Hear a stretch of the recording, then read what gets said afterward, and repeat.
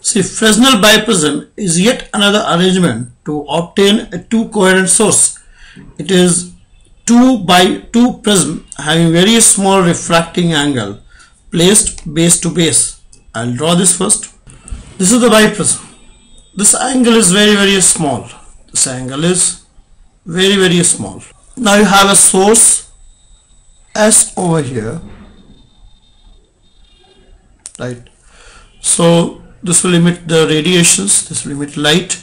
So light will fall on the upper prism and lower prism and will get refracted as. So light from the upper prism will get reflected like this. It will go like this.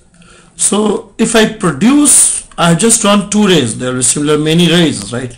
If I produce it in backward direction then these rays appear to be coming from. The rays will appear to be coming from getting emitted from S1 so S1 is the virtual source.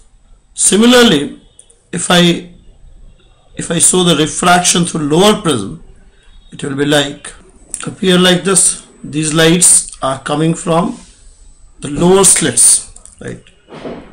Lower prism. They are getting refracted by the lower prism. So these lights are coming appear to be coming from S2 this can be S2 so S1 and S2 can be treated as two virtual sources.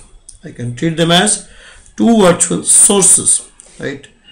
Say this is a distance B slit and the uh, sorry prism and the screen, and between source and the prism, say this distance is A. A is the distance. Now, this is the angle of deviation. If suppose this is angle alpha then this angle of deviation will be written as approximately equals to mu minus 1 into alpha. And if I regard this distance as a then this distance will be a delta right? Similarly this distance will also be a delta so s1 s2 are two virtual sources separated by distance 2a delta that is 2a mu minus 1 alpha. So this can be taken as 2d and distance between source s1 s2 slit s1 s2 can be regarded very similar to a slit s1 s2 are two virtual sources. So they are analogous to the Young double slits right so this is 2d that is distance between two Young double slit. They are similar to the problem become very similar to Young double slit. And the distance between slit and the screen that is source and the screen is a plus p. Now the whole scenario is just like Young double slit right?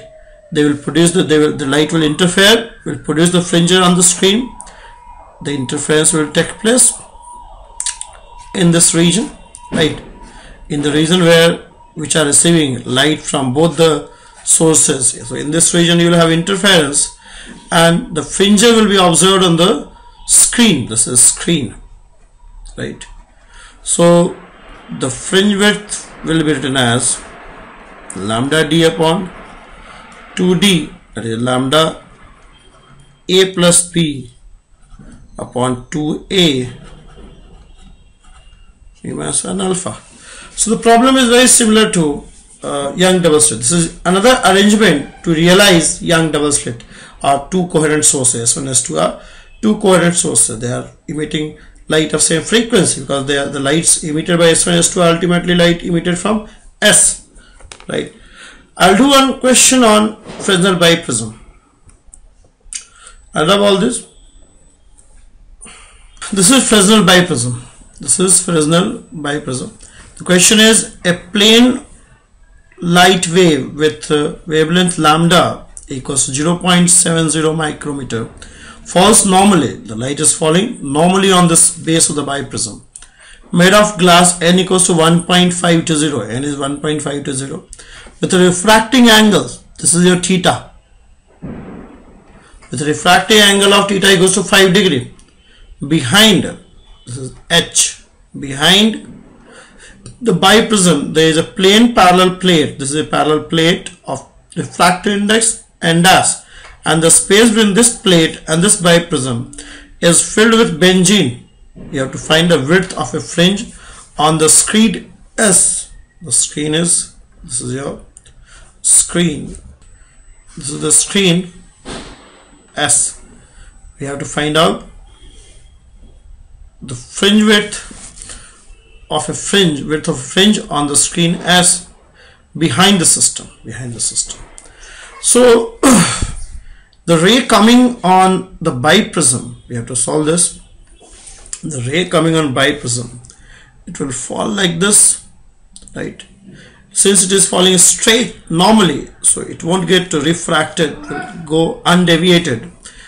And here you have on this part you will have a refraction. Refracted since it is denser. This is n. This is sorry this is same as n. This is n. This is not n dash this is n basically the benzene is n dash this is n dash right. This is n dash this is n dash so this is denser medium this is rarer medium so it will go away from the normal. It will go like this. It will go away from the normal. And again here it will get refracted. Right? So it will move towards the normal so it's a denser medium. Right? And this will be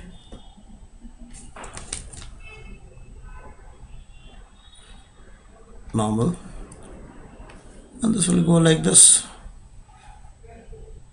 Right. Go like this. Now we have to find the final angle of deviation. This is the angle of deviation we have to find out. See if this is theta. This will be 90 minus theta. And this will also be theta. This will be r. Right. This will be r.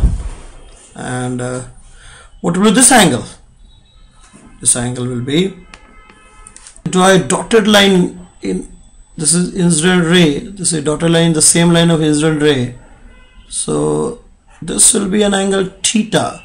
So this will be an angle of r minus theta. Hence this angle will also be r minus theta. And let's suppose this angle is phi. And let's call this angle as phi now I can get delta. I have to apply a Snell's law. First I'll apply it over here. This is n sine theta equals to n dash sine r. See theta is very small. R is also very small. So this can be written as n theta is n dash r right?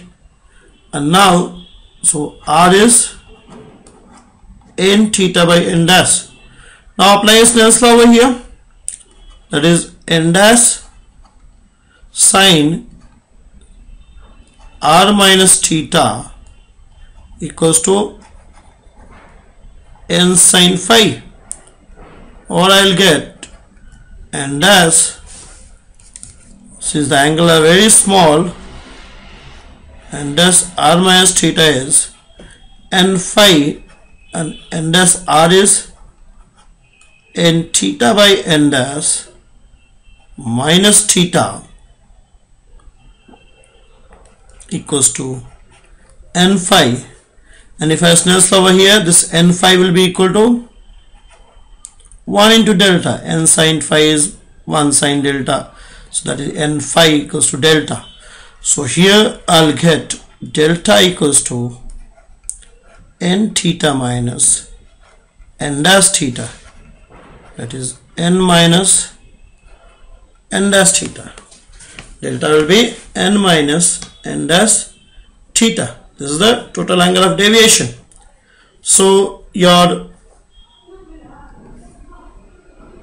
the distance between see these light getting refracted from the upper prism if they are produced in backward direction you will get S1 virtual source S1 now light falling on the lower part of the prism will interfere will, will, will sorry will refract it like this will appear like this.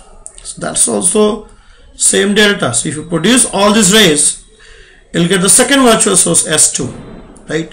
So S1 S2 is going to be 2a delta and uh, is 2a delta.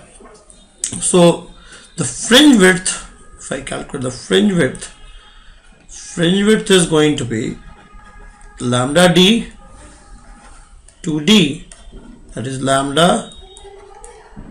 a plus b 2a delta or lambda 2 delta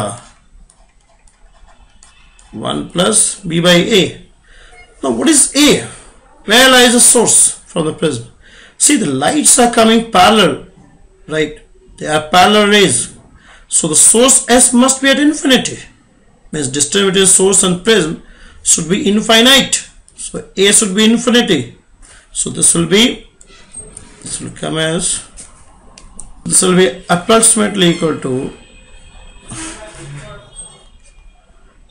2 n minus n theta this will be the fringe width. This is going to be the fringe width. Now you put the values